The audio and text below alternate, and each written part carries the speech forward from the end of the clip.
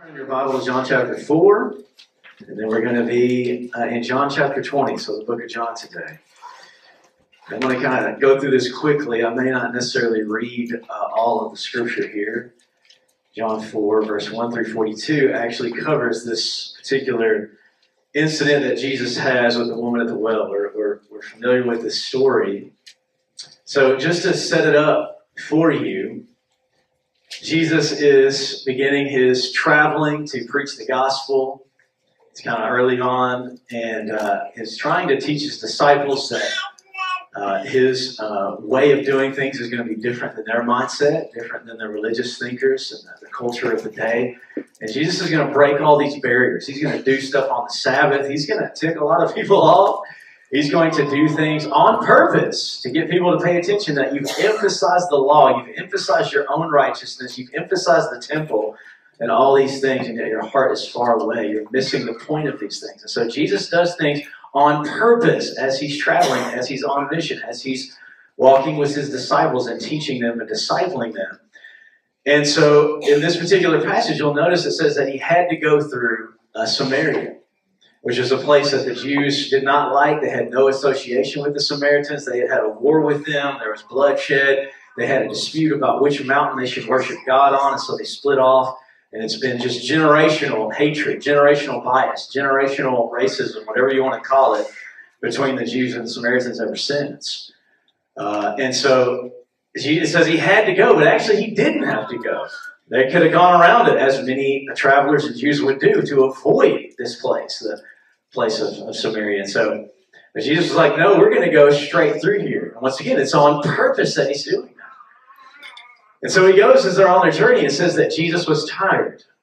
Think about that for a second. Jesus was a man just like us. He got tired. They found Jacob's well. And so he, he sends the disciples. They're tired and they're hungry. He says, why don't you go ahead and go into town, this other town close by and bring us some food. So Jesus sits there by the well.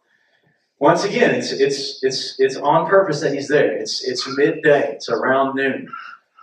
Okay, and this woman comes to the well. And we we know the story pretty well. Where it's shocking to, to her that he talks to her and the disciples come and like, what's he doing speaking to this woman? Like this is taboo. This doesn't happen. This is breaking down all kinds of barriers, right? And he simply asks her for a drink. She comes to the well, and she just says, Could I have a drink? And she's like, How is it that you, being a Jew, are speaking to me? Right? Like, this is not supposed to happen. What is this a trick? Are you trying to, right? There's no trust there. It's like, I don't understand what's happening. This guy's mocking me, or something's happening, or this guy's going to rob me, or something's, this guy's up to no good. I don't, I don't see what's happening here. And of course, Jesus says, Well, if you knew who I was, you'd be asking me for a drink, right? And I'd be giving you something called living water that would spring up unto eternal life, right? She's like, Well, you don't have anything to draw with. How are you going to do that? He's like, I'll tell you what, go get your husband and come back, and I'll give you this. And she's like, Well, I'll take it if you're able to give it to me, even though you have nothing to draw with. She's like, Well, I have no husband. What does Jesus say? Oh, no. The man that you're with is not your husband. In fact, you've had five others before this. Then all of a sudden she's like, wait a minute, this isn't just some chance encounter. This isn't some weird guy. She says, I perceive that you are a prophet. And then immediately, as, as Jesus tells her about her life, reads her mail right then and there, perceives that he's a prophet, and then immediately she goes to worship. Right? It says, Well, what do you say? being a Jew, that we should worship here or there. This is what we say, this is what y'all say. Remember that? Interesting that immediately this woman who's coming there in the middle of the day, who's obviously a social out- outcast, she's not with the other women that would come earlier in the day during the cool of the morning. She's coming out here by herself. She's had this particular life of rejection, know, oppression, and whatever else that's gone on. And here's this man talking to her, a Jew, going to give her a drink of living water that will spring up into eternal life, predicts, you know, or prophesies to her about what's going on in her life. And then she immediately wants to ask him about worship. And Jesus says some profound things to her that he hasn't said to anyone at this point. He hasn't said, he hasn't had a conversation. His disciples haven't even asked questions like this. This woman, once again, she's not just your average, ordinary, you know, woman at the well either. And so Jesus is drawing some things out of her, some deep things. And she begins to ask him about worship. He begins to answer. And of course, he tells her that it's neither going to be on this mountain or the mountain there, but it's going to be those that worship in spirit and in truth, right? For God is spirit, and those that want to worship him must do so in spirit and truth. And the Father is seeking those that will worship him this way. So this is the scenario. Once again, you can read it in detail on your own time, but I just wanted to give you the, the whole synopsis here. So let's break this down what's happening, because here's what I want you to understand. Jesus is starting out his ministry.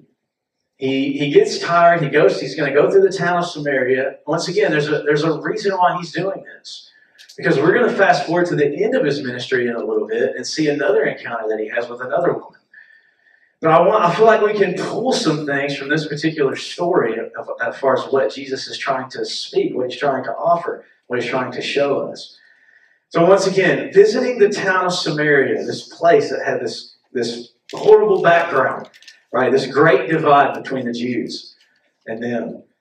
So they had no dealings with them, and yet Jesus goes there on purpose as one of his first, you know, sort of missionary journeys, if you will. So here's the point of this then. So I'm just going to give you these one liners. I'm just going to tell you what the point of it is. Just bam, bam, bam. Visiting the town of Samaria, what was this about? This is showing Jesus his desire, listen, to break off generational bitterness, biases, and curses, and to teach people to love and forgive their enemies, to bring peace, healing, reconciliation, and transformation. That's what Jesus is about. So he's trying to tell people the reason I'm here, the reason I'm here with you, lady at the well, right? There's a bigger thing going on. I want to display the heart of the Father. I want to share the good news with people. I'm here to reach the outcast. I'm here to bridge the gap. I'm here to bring peace and change. I want to reconcile people to God.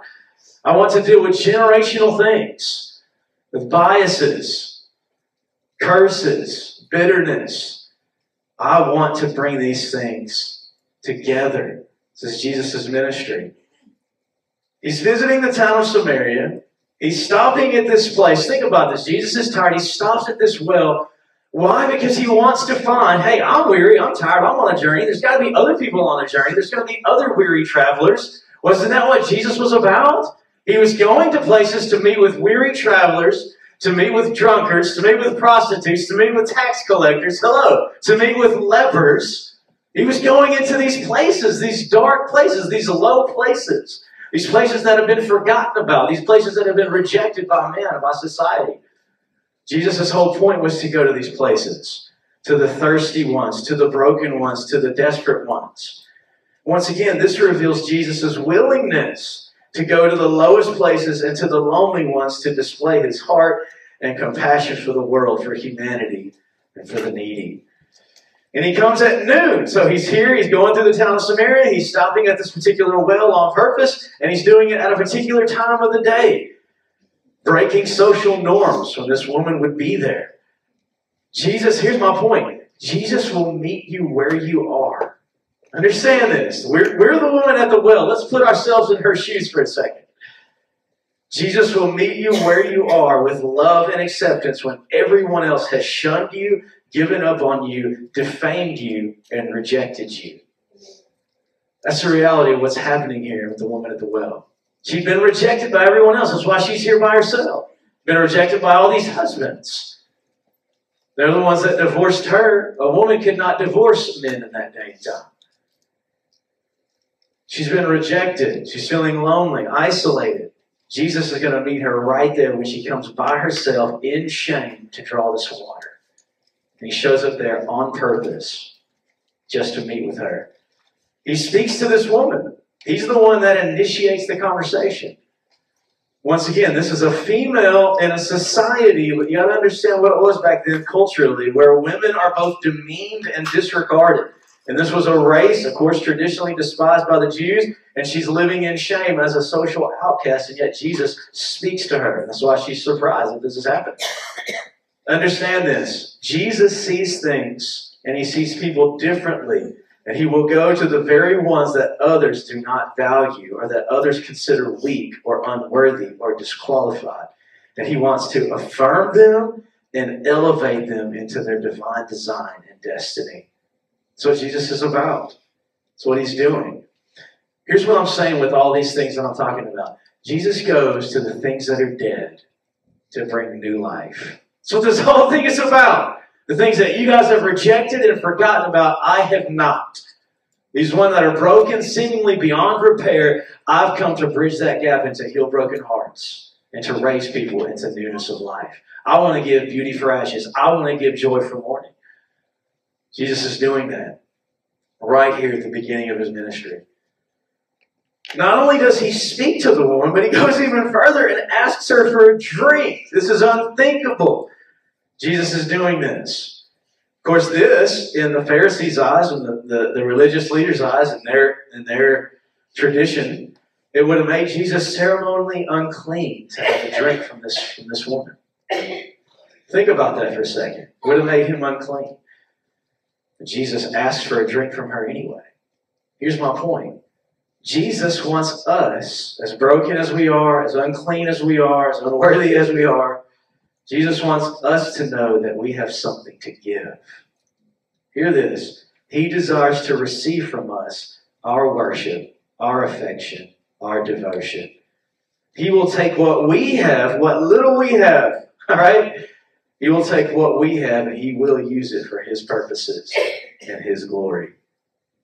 And that's what happens to this woman, right? She begins to ask him these questions, these deep desires of her heart, this curiosity, this searching for truth, this searching. She wanted to know God. She wanted to be in right relationship with God. How am I supposed to worship? How do I connect with God? I'm full of shame. I have a broken, you know, life. How can I come to God? How can I be received by Him? How can I give myself to Him? How can I put my life back together with Him? How can I be reconciled to God? That was what was deep in her heart, deep in her soul. That was her longing. Jesus begins to reveal to her these profound truths about the kingdom, about himself, about herself. He's actually listening to her and responding to her questions about worship, about prophecy. Here's my point then. For us, Jesus has secrets he wants to share, wisdom to impart, emotions to express, pieces of his heart to expose to us, to those who are willing to draw near, to listen, to be open, to be teachable, to honor him, and to seek him diligently. That's what his desire is to share the secrets of his heart. He wants to reveal things to us. As jacked up as we are, as many times as we've messed it up, as many times as God has spoken to us and we forget about it, as many times as God has fulfilled a promise or a prayer and we move on, He still desires to share His heart with us. He still beckons us, He still invites us to know Him, to be with Him in an intimate way. He still wants to use us. And that's the thing with this woman. She's one of the first people to receive revelation that Jesus is the Messiah. Remember, because that's the thing. Well, I'll go get my husband and all, but I'm just not sure about this. And, and I'm, I'm appreciative of this discussion. She says, but you know, when the Messiah comes, he'll reveal all these things to us. And what does Jesus say to her? The one that you are talking to, am he. I'm the one. I'm the Messiah. And she flips out. She all of a sudden, oh, you're not just a prophet. This isn't just a cute conversation we're having. You didn't just read my mail for fun. You're actually the Messiah, the one we've been waiting on. You've just revealed things to me at the deepest level of my heart. And she begins to leave. She, she leaves her, her water there and she begins to run towards the town. And her, her whole thing is Jesus didn't tell her what to say, didn't tell her what to do. But she begins to run to the town saying, Come and see. Isn't that the same thing that, that Jesus was basically saying to his disciples? Come and see. Come and follow me. She goes immediately, Come and see a man who told me everything about my life. Jesus didn't tell her everything about her life. He just mentioned that you had five husbands. but she knew if he knows about my husbands, he knows everything about my life. Something deeply spiritual had happened there. And all of a sudden, the scales fell from her eyes, and she couldn't wait to tell everybody, Come and see this man. Could this be the Messiah? He told me everything about me. And he knows everything about me, and yet he's wanting to give me a drink. He's just revealed to me about worship. He's revealed to me who He is. She goes to invite everyone. And what happens with the town? They, they get all in an uproar. And Jesus and, his disciples are like, What are we going to do? Let's stay here for a couple days. Let's see what happens. And there are people that, that believe, some people believe just because of her word and what she explained. And they're like, wow, you're right, this is it. And others went out to see Jesus. And they said, We don't just believe just because of your word and your testimony, but we believe because we've heard him for ourselves. We've seen him for ourselves. And that's the thing about us and our journey with God and our witness and our testimony.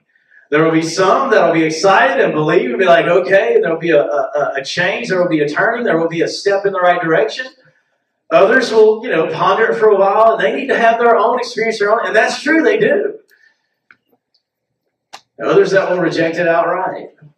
The point is, though, is that our testimony and our identity in Christ and how He wants to use us, it will produce. It will produce fruit. It is planting seeds.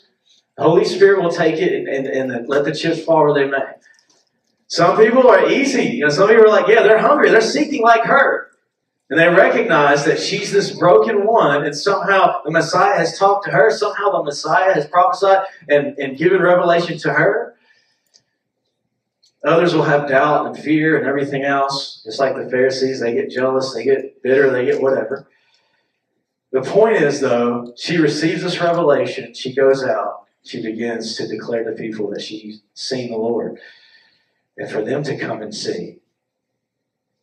The question for us then, if she was able to respond in this profound way, and it was just because he just said, Hey, you've had five husbands. And he tells her, We're not going to worship on these mountains, we're going to worship in spirit and truth, which would have been like, What? That's never heard anything like this before. And you have living water? I mean, this was like mysterious mystical. No one's ever taught like this. Where is that in the Torah? You know, where is that in the law? Where is that in the prophets? But she takes it as truth. She takes it as revelation from God Himself. The question is for us then how do we see the small things, the whispers, the short words, the faint impressions, the divine setups in our lives? Do we see it like she sees it? Do we respond like she responds?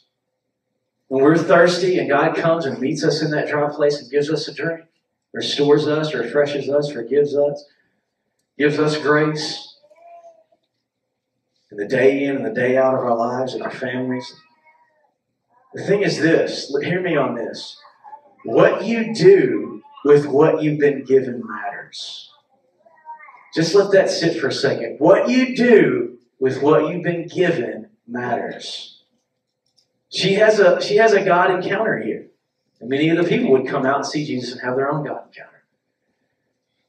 But not everyone who encounters God is changed or is able to sustain their experience. Think about that for a second. Because how you respond and how you follow through with what God has said and what God has done is what actually makes the difference. What you do with what you've been given matters. We could be in this in this place, and there could be a, a, a mighty move of God, and people are falling out in the spirit, and whatever else. But that doesn't mean that everyone that was in this room is going to leave out changed. It depends on what's going on in their heart. What is their heart response? What are they going to do after they leave this place? Are they going to put their faith and trust in Jesus? Are they going to change their, their ways? Are they going to follow Him? You see what I'm saying? They can have a God encounter and get all the feels and all the thrills and then leave out of here. You see what I'm saying? Let's not be a people like that. Let's not come to church and throw up our hands and sing all these songs on Resurrection Sunday, right? And not live out this life that's been made available to us. Resurrection power, living water. We have something of worth, something of value. Christ wants to use us, He wants to flow it out of our lives. So here's this rejected, outcast woman that Jesus encounters right at the beginning of his ministry. And then if you fast forward to the end, you can turn to John chapter 20 now. Now, Jesus has given himself on the cross. This is going to be the third day. And what happens? Jesus reveals himself to Mary Magdalene. Think about this for a second. Wait, Mary Magdalene, why would he reveal himself to her? Here he is at the very end of things. He's going to be resurrected, and the first person that he chooses, make no mistake, he, he, he's choosing. Once again, he's doing things on purpose. And he chooses Mary Magdalene, someone who had not one, not two, not three, but seven demons. So Jesus goes from choosing this woman who had had five husbands now to going choosing a woman who had seven demons. You don't get to sit here today and say that you're unworthy, say that God doesn't care. He chose to reveal himself to a woman who was an outcast, had five husbands the, at the well by herself, etc., etc., then to reveal himself in his resurrected state, firstly to a woman who had seven demons. You're not, you can't, you're, you're not too far gone. I'm hoping and praying there's not anyone in here that has seven demons in them. But if you did, guess what? God wants to deliver you and redeem you and bring you near to His heart. He wants to use you. You, want, you have a testimony. The power of God, the resurrection power of God to defeat that death and defeat that darkness, to break every chain and every stronghold and every curse. This is who Jesus is. The women whose testimony that wasn't valid in court. These are the ones that he shows up to. The ones that society thought were weak and less than and ignored. Jesus says, I want to reveal myself to you. I want to heal you. You're not rejected, you're accepted. I see you. I see your pain, I see your situation. Not only do I love you, I want to reveal myself to you and use you for my glory. That's what happens. So we have this woman who has great deliverance happen, and then after that she has great devotion. Do you know that she followed Jesus from that from that day after after he healed her and delivered her? And and, and it's scholars believe that she was actually a wealthy woman. Because the Bible talks about how she and others supported Jesus in his ministry. You know, Jesus and his disciples had left their jobs. They had no income, they had no ability to make money. Mary Magdalene and some of these others were actually giving to Jesus to help sustain. She had great devotion, which led to this great revelation. Great deliverance, great devotion, great revelation. Here's the thing not every gospel account, you know, Matthew, Mark, Luke, and John, they have different things and highlight different things. And different sayings of Jesus and different events. just a little bit different perspective. It's not contradictory, it's just different because they saw things differently through their own eyes, background, and whatnot. But not every gospel account of Jesus' life, death, and resurrection focuses on. I'm saying that to say they don't all include the same events and details. But all four of them attest to the fact that Mary was there to witness Jesus' crucifixion and to witness his burial. All four of them say Mary was there.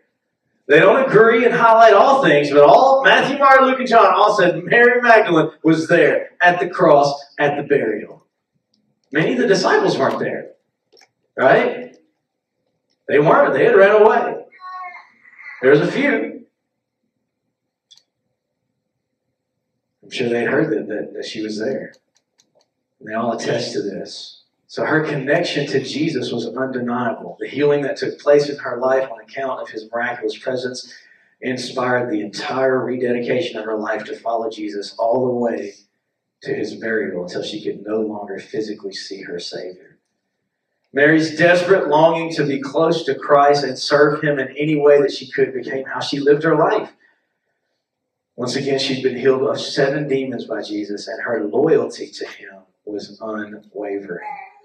She knew that she would not have a life if not for him. She knew she was dead. It was over with until she met Jesus. Everything changed. Everything turned around. So Christ, hear me now, Christ chooses this formerly demon filled woman who's now filled with extravagant devotion to be the first person that he reveals himself to after his resurrection. This is not a small thing, this is profound So look at this. John chapter 20, verse 1. Let's look at this just briefly. Early on the first day of the week, listen to this. While it was still dark. So Mary, Mary's coming early on the first day while it was still dark. Now you know Good Friday is good because Sunday's coming. That's what's happening here. Early on the first day of the week while it was dark, Mary Magdalene went to the tomb and saw that the stone had been removed from the entrance. Think about that. While it was dark, Mary was not from this area. She was not from Jerusalem. So she knew the path to where they had taken Jesus. This requires serious. She had memorized, she was able to find her way in the dark. Think about her commitment, her devotion. I want to know where they're taking his body. She's going, right, to bring the spices and all that to anoint his body. While it was still dark, this is Mary's commitment. This is her devotion. Nobody else evidently had this level of devotion and commitment as she came before dark. She comes by herself. Now skip down to verse 11. It says, Now Mary stood outside the tomb crying. And as she wept, she bent over to look into the tomb and saw two angels in white, seated where Jesus' body had been, one at the head and the other at the foot. And they asked her, Woman, why are you crying? Here's her response They have taken my Lord away. That's what she cares about. That's what she's focused on. This is her obsession yeah, to be with the Lord. They've taken him away. I don't know where he is. She's been with him all this time, and she's got this heart sickness. She said, I don't know where they have put him. She even, well, at that in a minute. At this, verse 14, she turned around and saw Jesus standing there. But she did not realize that it was Jesus. And he asked her, Woman, why are you crying? Who is it you are looking for? Listen to this. This is interesting. Thinking he was the gardener. She said, Sir, if you have carried him away, tell me where you've put him and I will get him. She was even willing to say, if you've stolen his body and you've got him under armed guard, or what, just tell me where he is. I want to go get him. I'll go by myself, whatever it takes. I don't care who's there. I don't care what the consequences. I want to go. Think about her bravery, her courage. Now, here it is in verse 16. Jesus said to her, one word, Mary. He says her name. She turned toward him and cried out in Aramaic, Rabboni, which means teacher. Jesus said, Do not hold on to me, for I have not yet ascended to the Father. Go instead to my brothers and tell them I'm ascending to my Father and your Father, to my God and your God. Isn't this interesting? That's what he says to her. I'm ascending to my Father and your Father. personalizing it to her.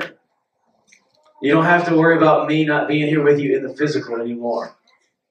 My Father is your Father. My God is your God. Wow. Mary Magdalene went to the disciples, verse 18, with the news I have seen the Lord. And she told them that he had said these things to her. A couple of things here. She responds, Why are you crying? They've taken my Lord away. She thinks he was the gardener, and then Jesus says her name. Here's the thing Mary could not stand the thought of her Lord being distant. She couldn't stand the thought of being separated from him, of not being able to be aware of his presence. She was still wanting to pour out her love and affection on him. She was still committed to being with him wherever he was. And then all of a sudden, he calls her name. There's something that happens when God calls your name. When he calls out your name, there's something that happens on the inside. That's all it took was for him to say her name. All of a sudden, boom, rabbi teacher. Whew. There's something about when we call on his name, but there's something when he calls our name. What happens is when we hear his voice and he's calling our name, He's healing our heart. He's revealing himself to us. The things that were blinding us, causing us to fear and doubt, suddenly melt away when he calls our name. All of a sudden, truth, truth himself, and love himself comes to bind up our brokenness. That's what happens. This is what Jesus is doing when he's first resurrected. He's still reaching out to the, to the lonely, to the outcast, to the ones that have been disregarded, to the ones that have been overlooked, from beginning of the ministry to the end. These are ones that had no life in that culture, no ability to have any sort of, you know, freedom or authority or this or that. And yet Jesus is setting them free and giving them intimacy and authority with him. A place at his table, a place in his kingdom, a place. No, no, no matter what we take away today, no matter who you are, what's going on, what you've been through, it's the same way. Jesus still, He's the same yesterday, today, and forever. He's still redeeming. He's still calling the brokenhearted. He's still drawing near to the outcasts. You don't have to have that orphan spirit anymore. The spirit of adoption, whereby we cry out, Abba, Father. You don't have to be in fear. You don't have to have worry. You don't have to wonder what He's thinking about you. You don't have to wonder whether or not you can be accepted or be cleansed because you can. If He can do it with the woman at the well, and if He can do it with Mary Magdalene, guess what? It's no problem for Him to do it with you. And we want to think about the big miracles and you know all of this. Jesus is interested in building people. He's interested in restoring hearts. Yes, he wants to do all the other things. The reason why he's healing the sick and casting out devils is because he's compassionate towards people. He wants them whole. He wants them in their identity. He wants them free. He loves people. Amen? You know, the thing about Easter, I want to I want to read something to you. I got I got an email. Some of you guys may not know this, but I feel like I want to share it. You know, we oftentimes just scratch the surface of some of these things, of some of the truths, some of the reality of the kingdom and of the spirit.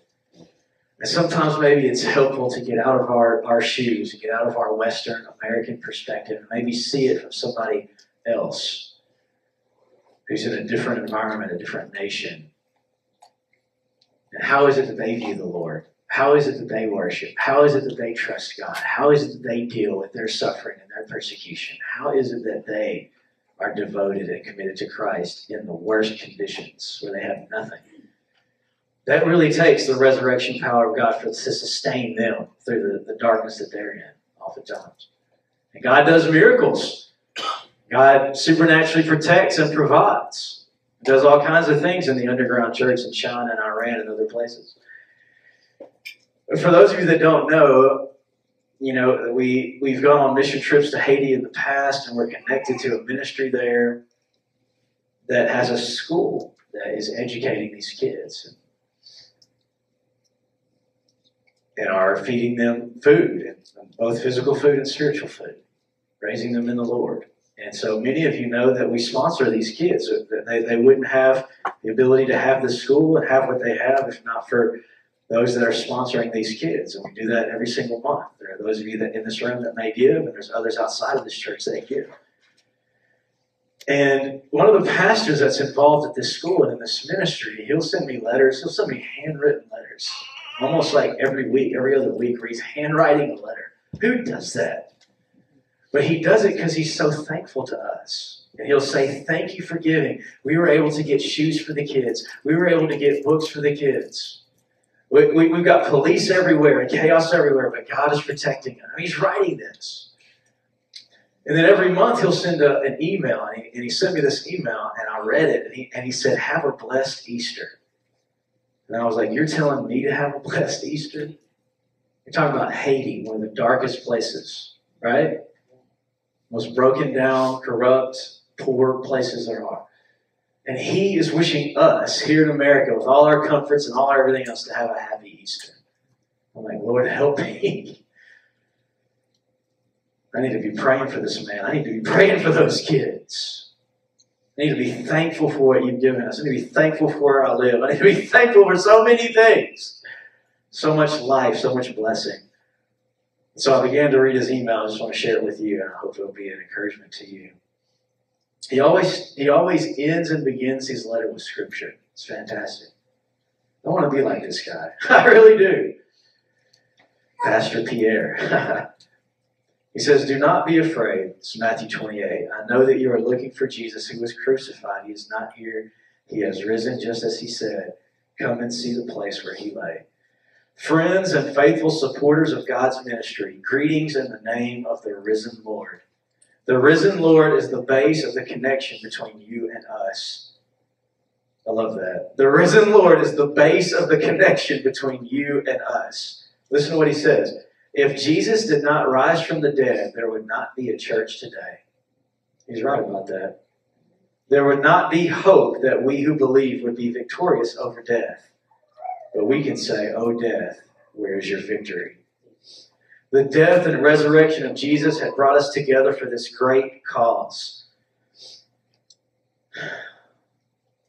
and our mission. I don't know if you knew that the word LaCroix, or however you say that, LaCroix, I don't know how you say that. It literally means the and the cross. Their mission there is named the cross. And that was the first thing the Lord taught me when I arrived there to carry my cross and to follow Him. And it was not easy. I would not be the person I am if it was not for Jesus who has revealed himself to me in a way I can understand, though I did not know him and have any experience with him.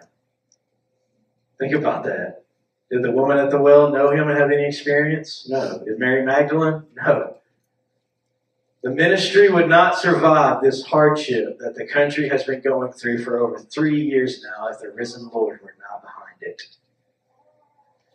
He is the head and the owner of this work. We thank Friends of Haiti for standing with us and for supporting this ministry. We thank you, faithful supporters, for letting God use you to support this ministry financially.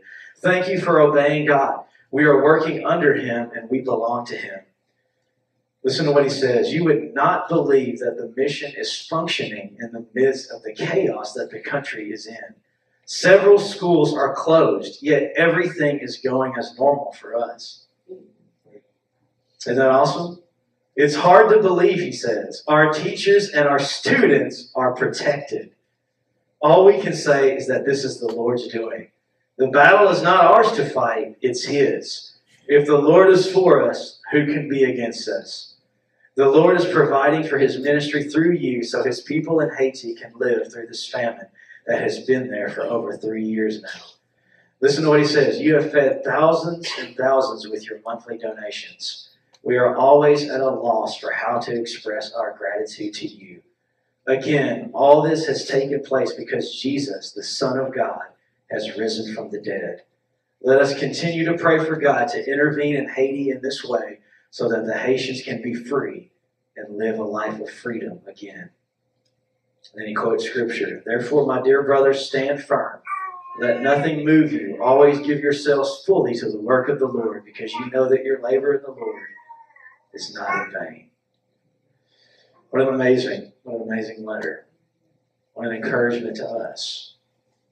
The famine, the chaos that's been going on over there for three years, yeah, they're still giving glory to God still worshiping God, still their hearts are in alignment with Him, still they're thankful for the fact that they have partners, the fact that the gospel could go forth, the fact that these kids can, can have food, can have nourishment, can have an education, can come to know Christ, can be taught the Word of God. And he says the thing that connects us is our risen Lord. Sometimes we just need to bring things a little bit back into perspective, don't we? It's the little things, it's the children, right? The children in these other places. They need the resurrection power of God. They need the sustaining life of God. They need the Word of God. They need that care and acceptance and identity. In the midst of great darkness, in the midst of great corruption, there are people over there in Haiti trying to raise up this generation. And I'm wondering, that's what their priority is. That's what their focus is. And every day and every week, they're dependent on the Lord. And they're dependent on people like us to be able to give to them. I'm like, Lord, do we have that focus? Do we have that dependency on you? Do we worship you like that? Do we have that heart, that singularity, that wholehearted devotion to you? Do we have that brokenness before you? I'm just talking to myself. Like, Lord, help us realign ourselves. The thing is, is that think about the woman at the well, and you think about Mary Magdalene. They had to go through much pain and much suffering. And the Bible talks about that if we want to be glorified with Jesus, the path to that is we have to suffer with Jesus over and over and over again. I just don't know, once again, how much suffering. We've all got different levels of suffering, but it's nothing compared to many that are in places like Haiti, right? And places in these other places. And I'm like, Lord, give us your perspective, give us your heart. Because suffering and persecution is going to come, and we cannot be caught up in our comforts and our convenience. We cannot be caught up in some sort of religious, ceremonious, you know, whatever thing where we're playing church and we're going through the motions and we have another holiday and another thing, and, but it's not actually impacting us. So we're not actually following through. I'm saying, Lord, change us from the inside out. Let us be a company of people that we're, we were buried with you in your death and we're raised to newness of life. We want to walk in that life. Everything that you've made available, we want the fullness of it to come forth. We want to see it. We're going to pray. We're going to believe. We're going to stand for our nation. We're going to stand for Israel. We're going to stand for Haiti. We're going to stand for Vietnam and Myanmar and these other places that we're, we're partnered with. Do you understand what you're a part of as the kingdom of God? Do you understand? This is the power of Christ in us. It's bigger than just Pursuit Church.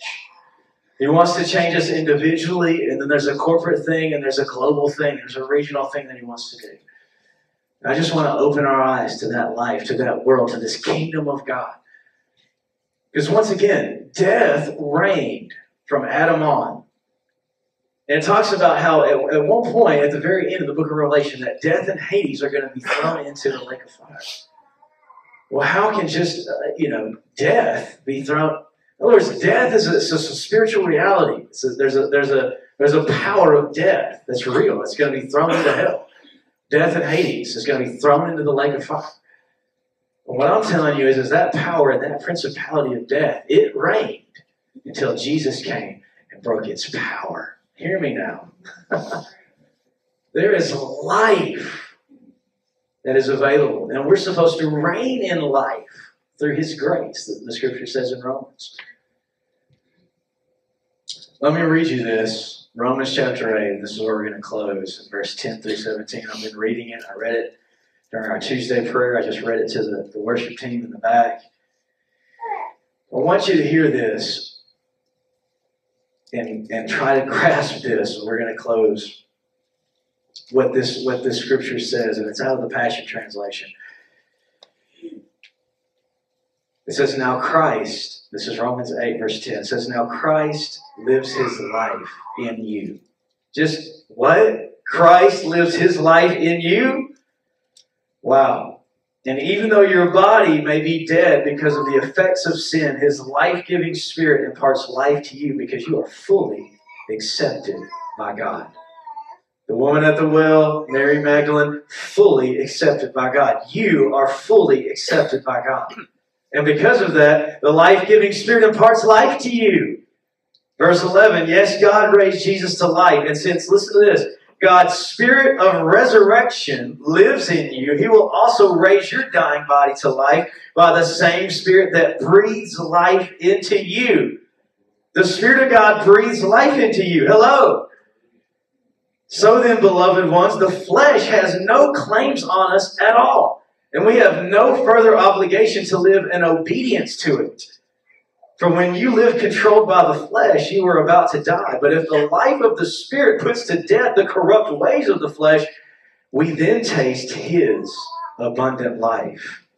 Have you tasted His abundant life? Don't you want to? The mature, listen to this, the mature children of God are those who are moved by the impulses of the Holy Spirit. Isn't that how you want to define your life? That how I grew up into, into the Lord, how I matured in Him, was I listened and responded to the impulses of His Spirit. Well, that's what we desire. Verse 15, you did not receive the spirit of religious duty, leading you back into the fear of never being good enough. You have received the spirit of full acceptance, enfolding you into the family of God. And you will never feel orphaned, for as He rises up within us, our spirits join Him in saying these words of tender affection Beloved Father. For the Holy Spirit makes God's fatherhood real to us as He whispers into our innermost being, You are God's beloved child. And since, listen to this, we are His true children, we qualify to share all His treasures. For indeed, we are heirs of God Himself. And since we are joined to Christ, we also inherit all that He is and all that He has. Come on, somebody we will experience being co glorified with Him. Here it is provided that we accept His sufferings as our own. Accept His sufferings as our own. You know, in Psalm 69, it talks about the reproaches and the shame that has fallen on you has fallen on me. This is David writing prophetically of Jesus, actually. And he says, Let me not put you to shame. Let me not dishonor you. This whole thing is they're going to reproach you, and so they're reproaching me. They're going to dishonor you, they're dishonoring me. They're putting shame on you, they're putting shame on me. But no matter what happens, no matter how hard, no matter what the affliction, no matter what the condition, let me not dishonor your name. Through all the suffering, through all the persecution, let me stand fast. Let me hold to you. Let me cling to you and your truth Of course, it goes on in the next verse and says that these present sufferings, right, are nothing in comparison to the eternal weight of glory. These momentary light afflictions are nothing compared to the eternal weight of glory that awaits us. That's what awaits us. Listen, we can we can celebrate today. We can laugh, we can rejoice. Because the day of his resurrection, the great day of our resurrection, lies ahead. Like Jay said, former sinners made saints now. Eternal life begins now. Jesus said, This is eternal life to know Jesus Christ, the one whom the Father has sent. You know him, you're joined to him, he breathes his life into you, you're raised up, seated with him in heavenly places. This is who you are, fully accepted, fully known, and fully accepted. Raised to newness of life. Thank you, Lord. So, what I want to do is I, I want to play you this song. And man, it is it is so simple. It's it's but it's so powerful. I want you to listen. I want you to hear the words. Man, I, I don't even know. I it just got released. He had a version. This is Phil Wickham, and he had a version of this song. And he decided to release this, you know, just before this Easter Sunday. So he released it. I guess he released it on Good Friday. and he decided to do like this acoustic slash piano version of this song. And man, I'm telling you, I watched it and I was like, that's it. I can't not play this for the people on Sunday morning. I mean, it just hit me. I'm praying that it's going to hit you too. And then it ties this whole thing together. Because, let me say this last thing. It wasn't just the woman at the well and Mary Magdalene, there's some women in between as well. Remember the woman who broke the alabaster jar, right, at Jesus' feet? And they were rebuking it saying this could have been, you know, a help to save the, you know, to give money to the poor, whatever. And Jesus said, No, she's anointing me for my burial. And what she has done will be spoken of as a memorial to her wherever the gospel is preached. Once again, another another woman coming in here and breaking all these barriers down. And she recognizes that Jesus is going to go and sacrifice himself. She recognized the disciples they, they still didn't understand that Jesus was going to have to go to the cross. And here's this woman who comes in, recognizes who he is, and that he's that slain lamb. He's that one that's going to take away the sins of the world. She breaks the alabaster jar to anoint him for burial. The guys, the disciples didn't get this. It was this lowly woman who got it. And was able to present this devotion. And now Jesus said, anytime the gospel is preached, think about what she did.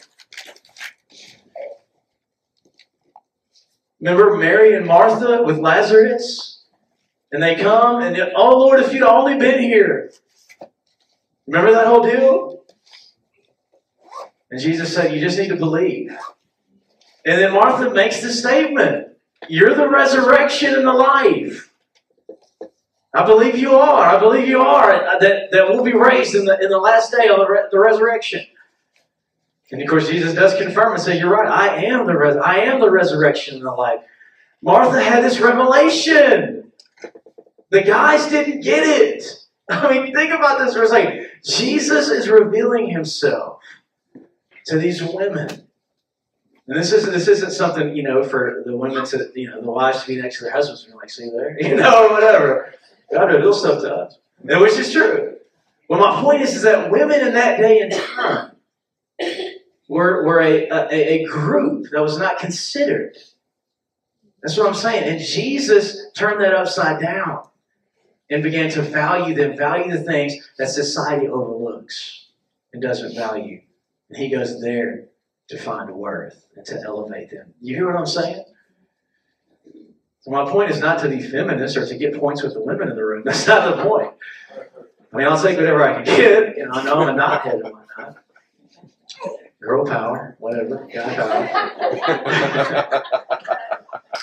but we're all,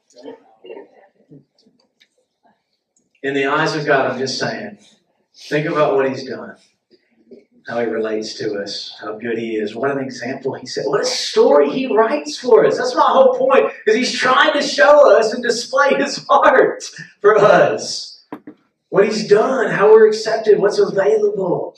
It's just so sweet, this love story, this romance, this way that God does things in a way that we just we just we we wouldn't do, we wouldn't think about. We would we would pass right by it. All right, let's get the lights. I gotta get out of the way. Holy Spirit, I'm just asking that you come. I know that you move when we posture our hearts before you to worship. And we just do that right now. We thank you for the, the worship we had earlier. We thank you for this word, and we thank you for this worship that we're about to have. God, let it be pleasing to you. God, let it strike our hearts in a way that, that, that we can break our alabaster jar. That we can drop our bucket at the well and go and say, Come and see. That we can go and say, I've seen the Lord. He's alive. Come and see. Do something in us, Father, to shift our perspective, shift our priorities. That our, our faith and our hope are anchored in the fact that you rose from the dead. You defeated death, hell, and the grave. You broke the curse of sin and the law and death. You reign now. And we can reign with you through grace in this life by your Spirit. We're sons and daughters of the Most High. We pray that that spirit of adoption, that resurrection power would rise up within us as we listen to these words, as we worship you through this song. That revelation would hit us, would spark us, would change us. We want to have a God encounter that actually lasts. We want to have real testimony, staying power, steadfastness, faithfulness, God to persevere through persecution, to persevere through our sufferings, to persevere through whatever pain, whatever disappointment, that will continue to lift up our eyes, to lift up our affection and devotion to you, no matter what's happening around us. We thank you, Lord. We thank you, Lord, for what you're about to do, what you've done already, what you're going to do. We just believe that greater things are yet to come. There's greater glory, there's greater power, there's greater miracles that are going to be released. We're believing it as crazy as it is here in Jefferson County, in Pine Bluff and White Hall, Arkansas, that you want to do it here in the lowliest place, in a place that's unlikely, that people have given up on, that there's so much brokenness in with poverty and addiction and lawlessness and all the things. You want to do it here in Pine Bluff, the outcast city. You've prophesied again and again that you want it to be a city of hope and a city of refuge. And we believe it, God. We say, yes, do it. And use us as a part of that hope, a part of that message, a part of that harvest. We thank you for it. We're going to listen to this song Sunday is coming. In Jesus' name.